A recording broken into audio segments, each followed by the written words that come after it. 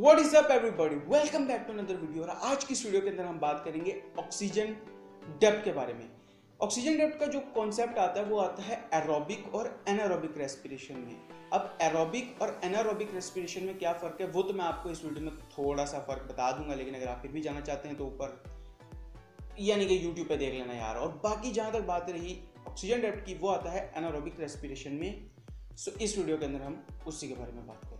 अगर यार आप ऑक्सीजन डेप के बारे में गूगल के ऊपर सर्च करते हो तो आपको मिलता है ये।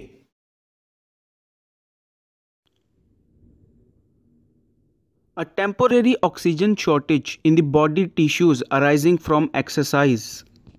और अगर आप मजीद सर्च करने की कोशिश करते हो like in Wikipedia then you will find out this thing excess post exercise oxygen consumption और known as oxygen debt is increased rate of oxygen intake following activity. In historical context, the term oxygen depth was popularized to explain or perhaps attempt to quantify anaerobic energy expenditure.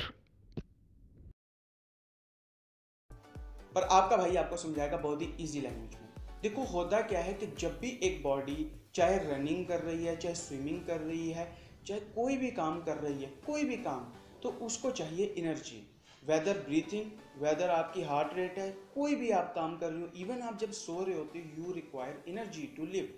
अब होता क्या है actually में, कि आपकी body हर वक्त aerobic respiration में होती है। एरोबिक रेस्पिरेशन के अंदर क्या होता है, कि आपके पास ग्लूकोज होती है, आप जब ब्रीथ करते हो तो आपके पास ऑक्सीजन होती है। दोनों कंबाइन यानी एक रिएक्शन होता है, जिसके पास आपके पास कार्बन डाइऑक्साइड वाटर और साथ में एनर्जी यानी large amount of energy produce होती है। पर अब होता ये है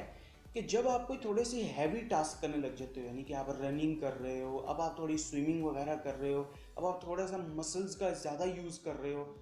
अब क्या होता है कि आपकी बॉडी के पास सफिशेंट एनर्जी नहीं होती।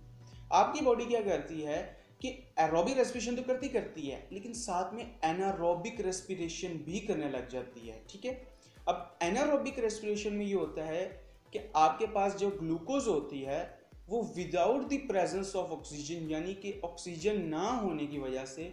वो ब्रेक डाउन होती है, जिसकी वजह से आपके पास एनर्जी भी आती है, बिल्कुल स्मॉल अमाउंट ऑफ़ एनर्जी और साथ में आता है लैक्टिक एसिड अब ऑक्सीजन डेप्थ का जो कॉन्सेप्ट है, वो है लैक्टिक एसिड के रिलेटेड अब होता क्या है? एरोबिक रेस्पिरेशन और एनारोबिक रेस्पिरेशन की वजह से आप कुछ देर के लिए रनिंग बहुत अच्छे से कर पाओगे। लेकिन जो बाद में आपको मसल्स में पेन महसूस होती है, उसकी वजह होती है वो लैक्टिक एसिड जो कि प्रोड्यूस हो ही जा रहा है हो ही जा रहा है और हो ही जा रहा है। अब क्या होता है कि एक वक्त आता है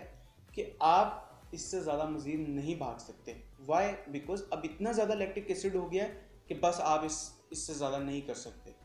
ऑक्सीजन डेप्थ का कॉन्सेप्ट तब आता है कि lactic acid is toxic toxic होने की वजह से आपकी बॉडी को अब ऑक्सीजन रिक्वायर्ड होती है कि जो लैक्टिक एसिड आपके मसल्स के अंदर है, उसको ब्रेक डाउन किया जाए बैक टू ग्लूकोज ताकि उसकी दोबारा से एनर्जी बनाई जाए। तो होता क्या है कि आपकी बॉडी जो एक्स्ट्रा अमाउंट ऑफ़ ऑक्सीजन जो भागने के बाद आपने देखा सांस चढ़ जाता है ना, वो जो आप सांस ले रहे होते हो, वो ऑक्सीजन जो होती है, वो ऑक्सीजन डेप्ट के लाती है, जो कि लैक्टिक एसिड जो आपने प्रोड्यूस किया था, उसको रिमूव करने के लिए होती है। वेल well, आज की वीडियो होती है यहीं पे खत्म और यहाँ पे मैं आपको बताना चाहता हूँ कि अगर आप जानना चाहते हो कि यार ओ लेवल्स के पेपर चेक कैसे किए जाते हैं then make sure to watch this video और अगर आप जानना चाहते हो कि यार रेफरेंसेस कितने लिखने चाहिए ओ लेवल्स में तो ये वाली वीडियो देखो। और अगर आप ओ लेवल्स अपना आसान बनाना चाहते हो then you should visit O level made easy by clicking on this जो भी यहाँ पे आ रहा है ठीक है ना? मिलते हैं नेक्स्ट वीडियो में तब तक के लिए अल्लाह